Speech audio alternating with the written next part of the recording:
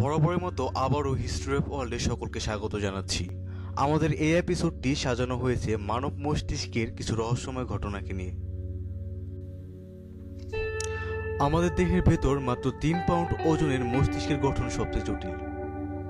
এমনকি পৃথিবীর সর্বশ্রেষ্ঠ আবিষ্কার কম্পিউটারের চেয়েও হাজার হাজার কোটি গুণ জটিল।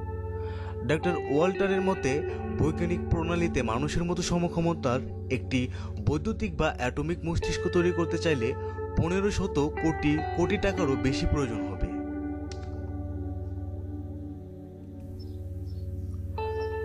সংখ্যাটিকে অঙ্কে লিখতে দাঁড়ায় পনেরো দিয়ে ষোলোটি শূন্য লিখলে যে পরিমাণ টাকা হয়। অর্থাৎ এই পরিমাণ টাকা দিয়ে বর্তমান সময়ের অত্যাধুনিক প্রায় দশ হাজার কোটি কম্পিউটার কেনা সম্ভব। আরও মজার খবর, এই মস্তিষ্ককে চালাতে এক হাজার কোটি কিলোওয়াট বিদ্যুতের প্রয়োজন হবে। দৈনিক চালু রাখার জন্য প্রয়োজন হবে কর্ণফুলী কাপ্তায়ের মতো তিন হাজার আড়াইশত বিদ্যুৎ কেন্দ্রের সামগ্রিক উৎপাদন। এই যান্ত্রিক মস্তিষ্কের আয়তন হবে আঠারোটি একশোতলা বিল্ডিংয়ের সমান। আমাদের মস্তিষ্কের সবচেয়ে ওপরের সাদা অংশকে কার্টেক্স বলে।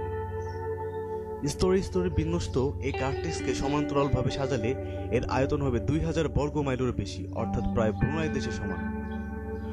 চোদ্দশো কোটি নিরপেক্ষ জীবকোষ দিয়ে কার্টেক্স গঠিত। এ সকল পরস্পর বিচ্ছিন্ন সম্পূর্ণ একক জীবকোষকে নিউরন বলা হয়। এই নিউরনগুলো এতই ক্ষুদ্র যে কয়েকশত একত্রে একটি আলপিনের মাথায় স্থান নিতে পারে। প্রতি সেকেন্ডে শত শত হাজার হাজার নিউরন এসে ব্রেনের প্রাথমিক স্তরে জমা হতে থাকে। এর এক একটি ইলেকট্রনিক সিগন্যাল যা শরীরের বিভিন্ন অংশের সাথে যোগাযোগ রক্ষা করে এবং মূল নিয়ন্ত্রণের আদেশ অতি দ্রুত হাজার কোটি সেলে ছড়িয়ে দেয়। ব্রেনের এ সকল প্রক্রিয়া অনেক সময় সেকেন্ডের দশ লক্ষ ভাগের মাত্র এক ভাগ সময় ঘটতে পারে। আমাদের দেহের মেরুদণ্ডের মাধ্যমে নিউরনগুলো সারা শরীরে যন্ত্রপাতিগুলোকে সজীব তৎপর রাখে। এগুলোর আবার অনেক স্বতন্ত্র বিভাগ রয়েছে, যার সংখ্যা দুইশত পঞ্চাশটি। যেমন কোনো অংশ শোনার জন্য, কোনো অংশ বলার জন্য, কোনো অংশ দেখার জন্য, আবার কোনো অংশ অনুভূতিগুলোকে কেন্দ্র কন্ট্রোল টাওয়ারে ট্রান্সমিট করার জন্য ব্যস্ত থাকে।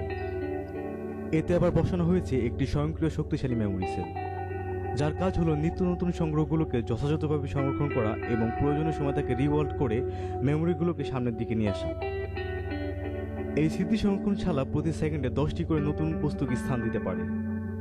পরম আশ্চর্যের বিষয় হচ্ছে, পৃথিবীর সর্বকালের সর্বপ্রকারের যাবতীয় তথ্য তত্ত্বকে এক জায়গায় একত্র করে যদি মেমোরি সেলে রাখা যায়, তবে লক্ষ ভাগের এক ভাগ জায়গা পূরণ হবে না।